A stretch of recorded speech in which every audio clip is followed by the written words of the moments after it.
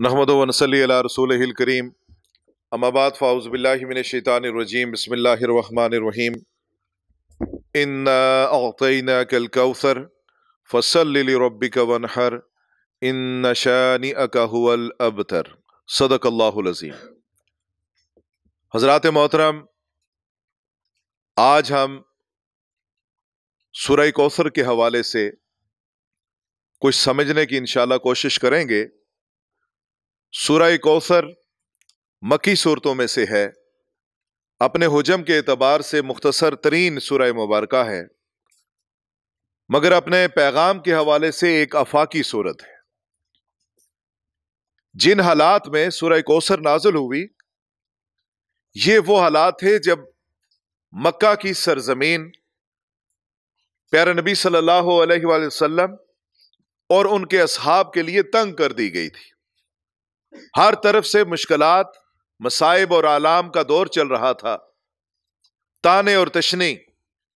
और मुसलमानों के लिए हर वो हरबा, जिससे के मुट्ठी भर मुसलमानों की वो जमात, वो डिसहार्ट हो जाए, वो परेशान हो जाए, वो सारे तरीके और सारे वो हरबे इख्तियार किए जा रहे थे। चनाचे, इसी दौरान ये मरला पेश आया। कि प्यारा नबी सल्लल्लाहु अलैहि वसल्लम के बेटे अब्दुल्ला जिनका लकब तैयब और ताहिर भी था, उनकी वफात हुई।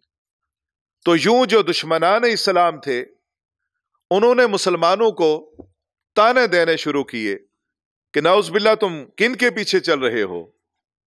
वो कि जिनकी कोई नरीना औलाद नहीं है। और उन लोगों के साथ कि जिनके पास बहुत ज़्यादा माल और दौलत और इसबाब नहीं है, इस अंदाज से मुसलमानों को तंग किया जा रहा था। और खुद प्यारे नबी सल्लल्लाहु अलैहि वसल्लम भी बड़ी नागवारी महसूस कर रहे थे, बड़ी परेशानी महसूस कर रहे थे।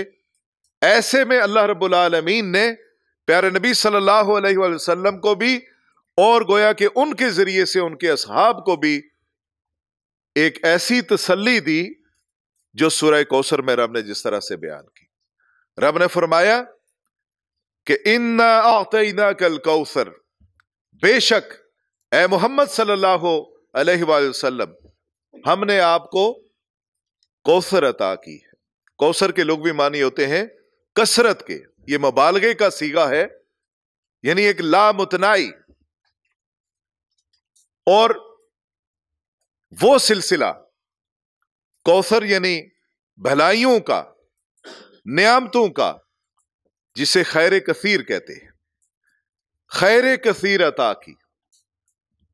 और उसमें क्या कुछ अता किया? गोया के प्यारे नबी वसल्लम को जो नबूवत मिली, जो रसालत मिली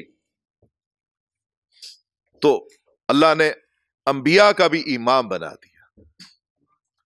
और फिर कुरान नाजल किया, ऐसा कलाम नाजल किया, जो हर लिहाज से इंसानों की फलाह के लिए, कामयाबी के लिए, हदल्लिन्नास ठहरा हदल्लिल मुत्तकीन ठहरा, और मकम्मल और अकमल हर लिहाज से।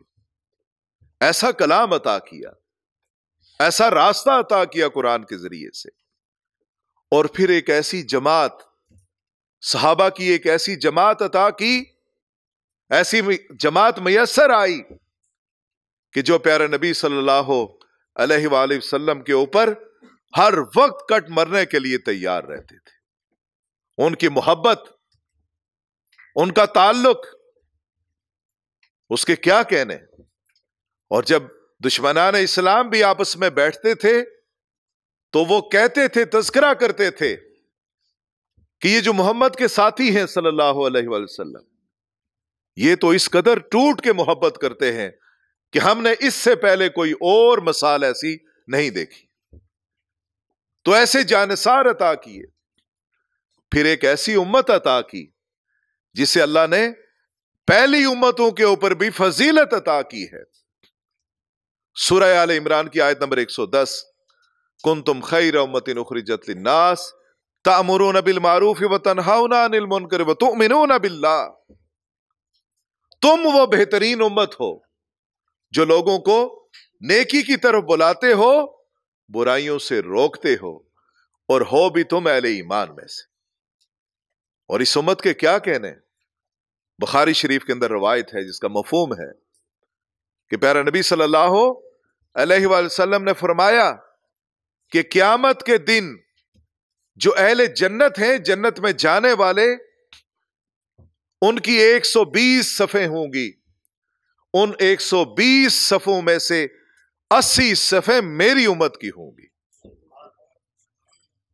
80 सफ़े मेरी उम्मत की होंगी। कितनी बड़ी फजीलत है। और पहले अंबिया में से कुछ अंबिया ने यह भी ख्वाहिश की, तमन्ना की कि काश हम मोहम्मद सल्लल्लाहु अलैहि वसल्लम की उम्मत में से उठाए जाएँ। अंबिया ने भी तमन्ना की, मेरे भाई और दोस्तों। तो गोया कि एक ऐसी उम्मत अता की कि जिसने प्यारे नबी सल्लल्लाहु अलैहि वसल्लम का जो मिशन और मकसद था, उस मिशन और उस मकसद को लेके अब ये उम्मत आगे बढ़ेगी। गोया कि ये वो वाहिद उम्मत है कि पहली उम्मतों के ऊपर तो ये होता था कि एक के बाद दूसरा नबी, मगर अब ये उम्मत है जिसे अंबिया का जो मिशन था, जो कार्य नबूवत है, वो अब अल्लाह ने इस उम्मत को अता कर दी।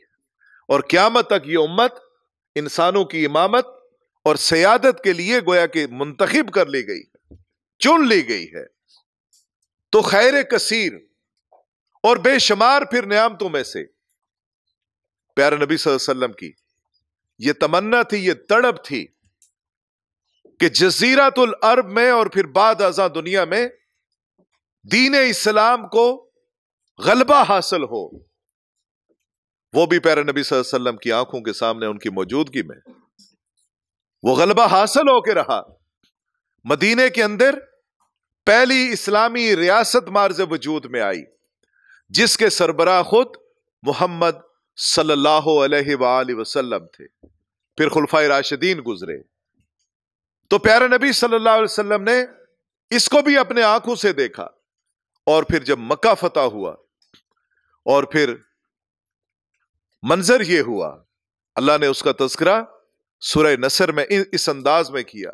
यह वो मकाम था जब प्यारे नबी सल्लल्लाहु अलैहि वसल्लम अरफात में, योम अरफा में मौजूद थे। तो ये आयात नाजल हुई। इदा जा नसरुल्लाह वल फतह।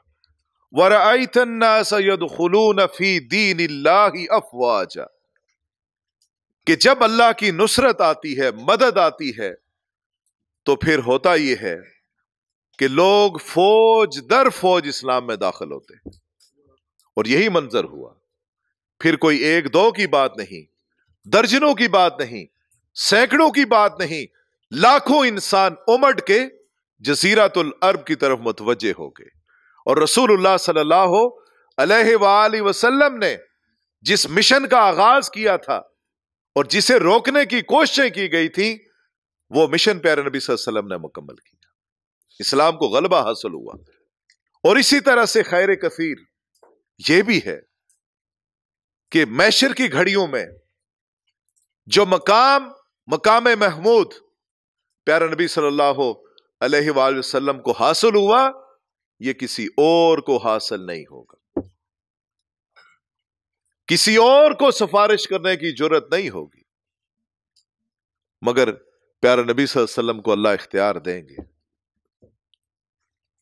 और फिर इसी तरह से, हौजे कोसर अता हुआ। एक ऐसा हौज जिसके बारे में मुफसरीन ने लिखा है, जो मौजूदा बैरुल काहिल है। ये जो पूरा एक समंदर है। बाज मुफसरीन ने कहा कि शायद इसके करीब का कोई एक हौज होगा, इतना बड़ा। प्यारा नबी सल्लल्लाहु अलैहि वसल्लम, वहाँ पे अपने उम्मतियों को जामे कौसर पिलाएँगे। और जब एक दफ़ा कोई जामे कौसर ले लेगा, दोबारा फिर उससे प्यास नहीं लगेगी। दुआ करें कि अल्लाह ताला हमें भी प्यारे नबी वसल्लम के हाथों से जाम कोसर नसीब कर।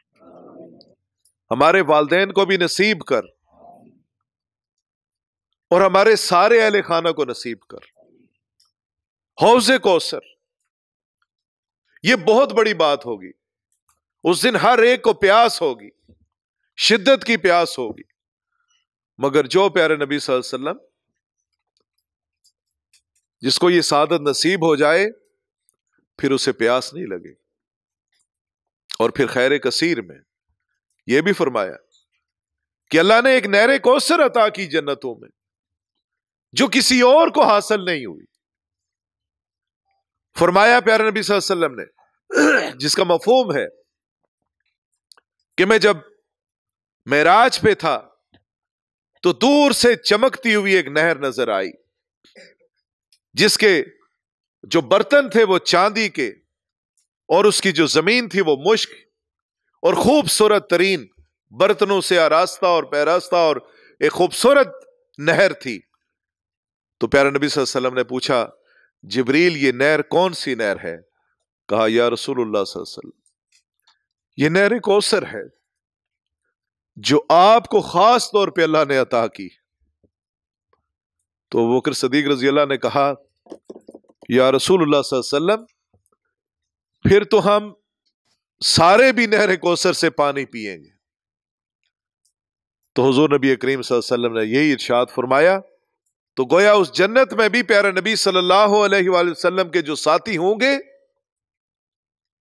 वो पानी पी सकेंगे, नहर कौसर अता की तो एक गोया के खैर कसीर ये खैर कसीर एक लामुतनाई नियामतों का एक सिलसिला है, जो अल्लाह रब्बुल आलमीन ने मोहम्मद सल्लल्लाहु अलैहि वसल्लम को अता किया।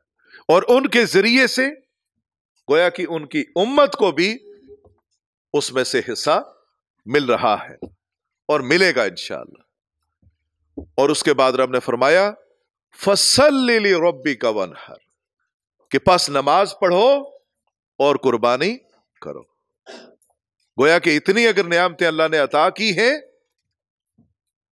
वो किसी को भी अता हो, हुजूर के उम्मतियों को भी अता हो तो उसका भी फिर लाजमी तकाजा है कि अच्छी नमाज़ के ज़रिए से, रब के साथ अच्छी मुलाकात के ज़रिए से, पूरे शुक्रगुजारी के साथ नमाज़ के ज़रिए से गोया कि शुक्र अदा किया जाए। और इसी तरह से कुर्बानी की बात की गई। उमूमी तौर पे कुर्बानी तीन चीज़ों की दी जा सकती है। माल की कुर्बानी, जान की कुर्बानी और वक्त की कुर्बानी। ये तीनों कुर्बानियाँ यहाँ मराद हैं कि ये जो खैर कसीर की बात की गई है, ये जो गलबा इस्लाम की बात की गई है, ये हासिल तब होते हैं कि जब नमाज़ की सूरत में भी, यानी अपने रब से ताल्लक मज़बूत हो, और इसी तरीके से कुर्बानी का भी जज्बा और अपने आप को हर वक्त कुर्बानी के लिए तैयार रखा जाए। और इसके रास्ते, अल्लाह के रास्ते में अगर जान भी पेश करनी पड़े तो पेश की जाए। माल भी देना पड़े तो माल भी दें। ऊँट नहर करने पड़े तो वो भी करें। तो जान, माल और वक्त के ज़रिए से कुर्बानी गोया कि इस्लाम जो तकाजा करता है, रसूलुल्लाह वसल्लम जिस दावत के मैदान में निकल, निकले थे और आज अल्हम्दुलिल्लाह में और आप उसके साथ वाबस्ता हैं तो उसका लाजमी तकाजा फिर कुर्बानी का है। और फिर फरमाया इन नशानी आका हुआ अबतर। बेशक आपका दुश्मन ही बेनाम निशा होकर रहेगा। वो दुश्मनान जो अबू जहल की सूरत में, अबू लहब की सूरत में उतबा और शीबा की सूरत में थे, वो मेरे भाइयों नाकाम हुए, वो नामराद हुए, वो बेनाम और निशान इस तरह से हुए कि उनके चाहने वाले भी उनके नाम रखना तक गवारा नहीं करते। और आज प्यारे नबी वसल्लम के नाम को वरफान अल का ज़िक्र इस कदर बुलंद किया कि एक लेटेस्ट तहकीक में गूगल पे सर्च किया गया तो पता चला दुनिया में सबसे ज़्यादा इंसानों में मकबूल तरीन तरीन जो नाम है, सबसे ज़्यादा जो रखा जाने वाला नाम है, वो है मोहम्मद सल्लल्लाहु अलैहि वसल्लम। तो प्यारा नबी वसल्लम के नाम को अल्लाह ने बुलंद किया। करोड़ हा इंसान जो प्यारा नबी वसल्लम के साथ और अब अरबों में, वो लोग हैं जो मोहम्मद वसल्लम के साथी हैं और उनके नाम को बुलंद कर रहे हैं। तो इसलिए इसमें यह पैगाम भी है कि आज के दौर के जो अबू लहाब हैं, अबू जहल हैं, वो भी अगर मोहम्मद सल्लल्लाहु अलैहि वसल्लम के नाम मुबारक को या उनके दीन दीन इस्लाम को मिटाने की कोशिश करेंगे, वो इनशाला खुद मिट जाएँगे, दीन इस्लाम को और मोहम्मद वसल्लम को और मोहम्मद वसल्लम से मोहब्बत करने वालों को अल्लाह अरूज अता करेगा। बुलंदी अता करेगा, उन्हें ज़िंदगी अता करेगा और क्यामत तक इनशाला ये मकसद, ये जदोजहद आगे बढ़ती चली जाएगी इन अज़ीज़। मैं अल्लाह से दुआ करता हूँ कि अल्लाह रबालमीन मुझे और आपको हजूर नबी करीम वसल्लम के साथ सच्ची मोहब्बत अता करे और जो खैर कसीर प्यारे नबी वसल्लम को अता हुई, अल्लाह उसमें हमें भी हिस्सा अता करे और हम उस बड़े मकसद के लिए अल्लाह का शुक्र भी अदा करें। और कुर्बानी जिस कदर हमसे तकाजा है, वक्त के हवाले से, माल के हवाले से, वो भी अल्लाह के हजूर हम पेश करें। वाहरुदावाना अनिलहमदिल्ला